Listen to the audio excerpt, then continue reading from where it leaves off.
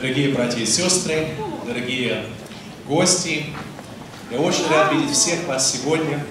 Сегодня такой прекрасный день, потому что сегодня мы празднуем самое великое событие, которое когда-либо случилось на этой земле.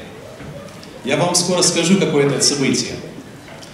Есть такая, такая хорошая старая христианская традиция, что когда говорят какое-то событие, то встают вместе и дают ответ. Знаете, какой ответ нужно дать? Сейчас попробуем. Братья и сестры, Христос воскрес! Христос воскрес! Христос воскрес!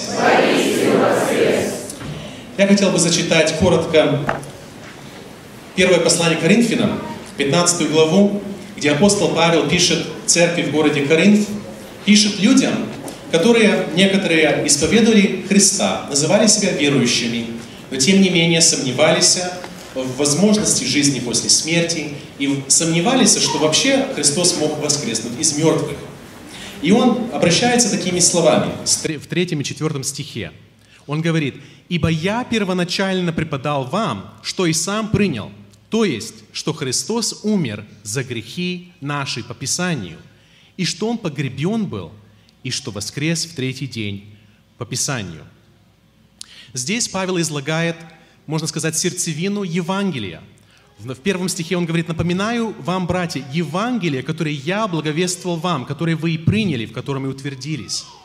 То есть Евангелие Иисуса Христа включает в себя вот эти части, что Христос умер за грехи наши по Писанию, что Он погребен был и что воскрес в третий день по Писанию.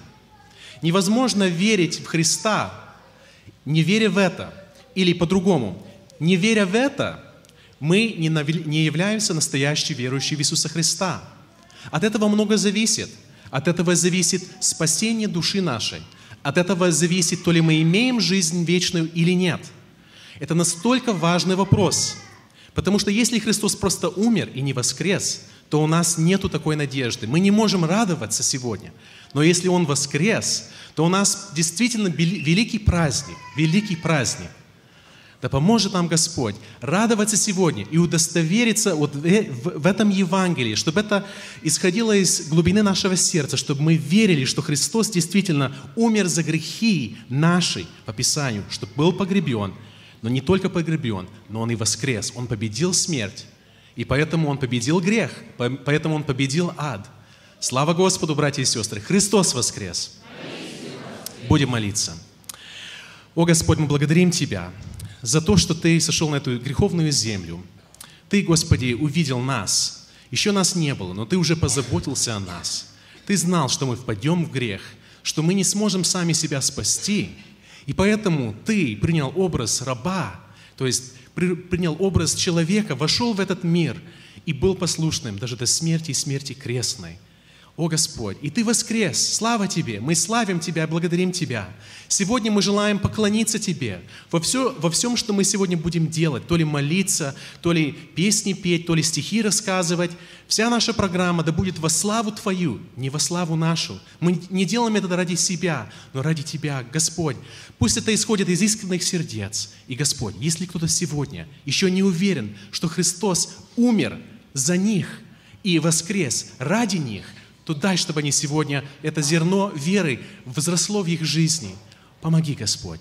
Мы просим, благослови это служение, присутствуй Духом Святым. Мы просим, наш любящий Бог, Отец и Дух Святой. Аминь.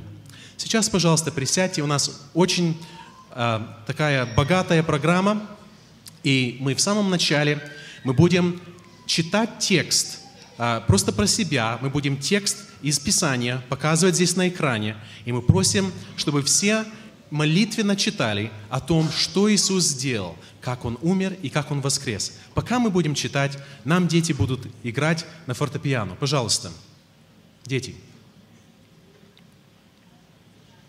Да, сейчас будем, то, пожалуйста, просто читайте и просто перед Господом благодарите в душе вашей Его за то, что Он вот это сделал ради вас.